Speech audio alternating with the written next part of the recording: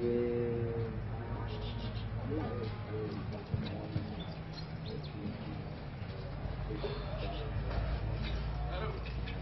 fully imported Chester quarter horse ridden by Hugh Miles called Manic Chic.